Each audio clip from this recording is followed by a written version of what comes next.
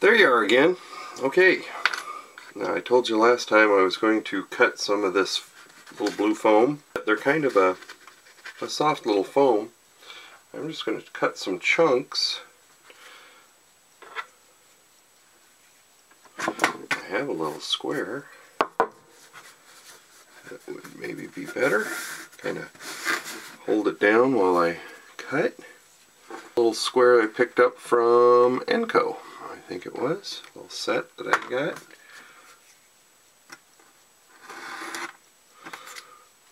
Making a nice straight cut. Get a better get a better gauge on the width of that. And I got my hot glue gun heating up over there so we can stick them on. I don't think for N scale they need to be particularly deep. I'm just going to make little pads about yay long. Is that a, is that a customary measurement? Yay, yay long? Just to give it a little bit of grip so that if you're fumbly fingers like me, you don't knock your freshly painted little loco shell to the ground.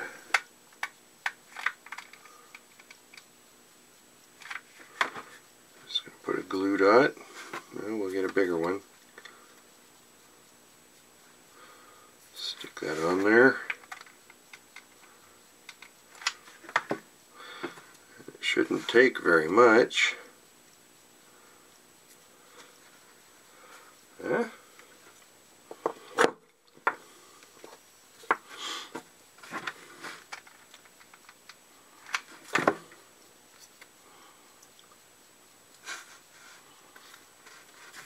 Oh, they're a little, little staticky, or else I got a string stuck to them. Probably a string stuck to them. Ooh, yep. Ow.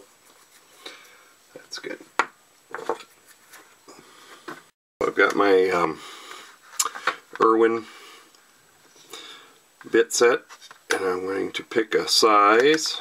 I think 3 eighths or 3 quarters. 3 quarters should do it. I'll go get me a hunk of uh, 2x4 or 1x4 or something like that. But you see that's that's on there. It's not slipping around. That's nice. Yeah, it's a little cramped in the old workshop slash garage right now. But I, I could still get to most stuff. Maybe not this metal cutting bandsaw. I drilled a 3 quarter inch hole and put a regular paper uh, clothespin in there with nothing clamping clamped to it because when you put this inside the body it exerts a little spring pressure and it kind of, it's kind of sloppy. Fits real nice in the uh, 5 8 hole but if I have any pressure at all it's not going to fit. So my little body makes it too big but that'll hold and it'll keep it till it dries. And what I so I'll, I'll, make a couple of these just in case there's something that I'm holding on there. And I also thought of making a couple, and, and they may, you know, let's say you're holding on to something this way, you can stick it in there if it'll if it'll fit, but or you can put it in this hole. That's a, a little smaller size, and I may drill a couple bigger holes so that if you've got it all the way down, probably a 7 eighths hole, maybe one in the middle or something. On.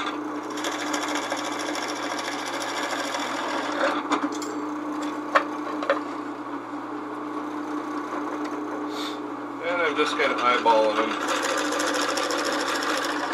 It set a stop on my depth.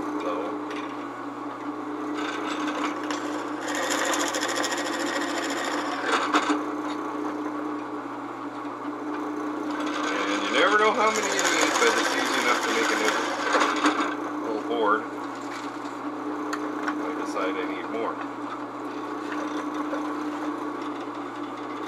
Kind of get them across from each other, just in case, like you're doing a passenger car and you want to hold you want two of them because it's kind of longish,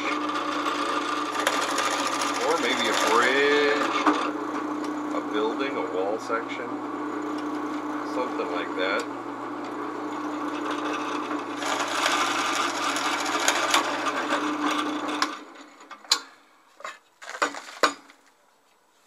So, there you go. I know it's not pretty. It's an old piece of split wood that was out on the fire firewood pile. Let me go get the 7 8.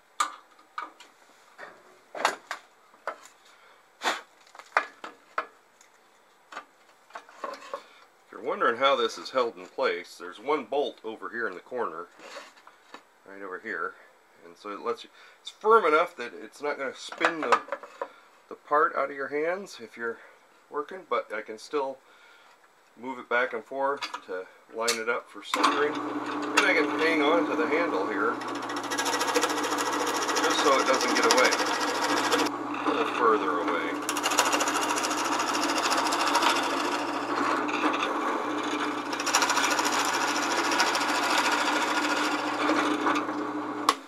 Okay, and so now if I wanted to hold something in there with another clothespin, I could. It'd be really close. If I didn't have foam on that, that would work. Alrighty, meet you back inside. And there she blows. That's the way it goes together. I'm going to go uh, grab some more clothespins, and since I've got the little uh, foam pads, I'm going to put some on the inside jaws, a couple more on the outside jaws, and make up a bunch just in case I get the urge to do some more projects. Speaking of projects, we have one I'm working on that's a car that we were using on the Inglenook. Um, this had a really pronounced mold injection point on there and I uh, sanded that all down and got it pretty smooth. I'm going to cut a, a little mask to go out over this area and spray down spray, gray through the mask and it'll bleed under the mask a little bit so it'll look like it's overspray from the body and I'll mask off the body so I don't get any overspray on the the body itself and that way it'll look like it's bleeding into the the roof. It's a commemorative car. It's an NTRAK uh, Reno convention of what is that? West Nevada 90. But you know what? It was two dollars. It was a little kit. I painted the uh, underframe. I gave it a set of uh, Fox Valley wheels, and uh, I think it's a neat little box car but it, I was not at the convention, so I'm going to go ahead and weather it up, and it'll just become a background piece, and somebody may notice it when it comes rolling past. That, that'd be kind of cool. My other little project is this little guy. Now, this car's been around for a while. This is one of my wife's brother's cars. And you can see there's a whole section of side frame and cross member missing, plus the ladder. This is what it's supposed to look like at this end. So that I need to duplicate this. Now, because I have this corner, I can go a couple of ways. I can cast that with resin, you know, make a mold of this and cast another piece and cut it to fit and glue it in there. Or I could scratch build it, but I think that would look kind of odd. Right now, I'm going to pull out the uh, tape that I got and uh, go print me a picture of the paint scheme for this locomotive and just kind of get an idea of how well that's going to work.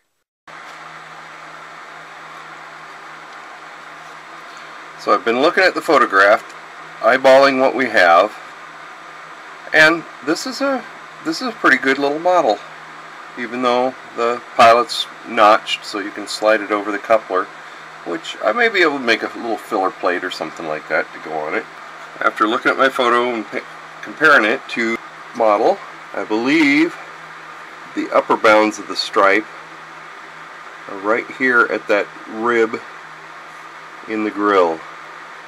So that looks like it cuts across the windows at about the right spot. and the bottom of it should be right here just clipping the top of the door. You can see it in the picture. And extending down onto that panel just a bit. And then just over the number board. The tape's about the right width for that. Back here the tape's not quite wide enough. It comes down from the rib and if I mask the rib off so that the rib is white that's about perfect. And then I have to go down to about right there above the door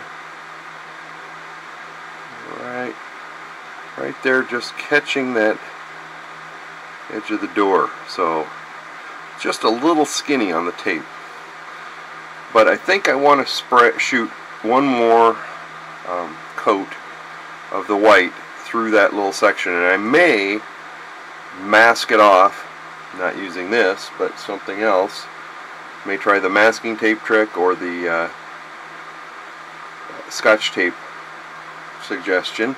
And shoot just the stripe and that'll give me a, a little bit of experience trying to put in that that radius. We'll see how that works.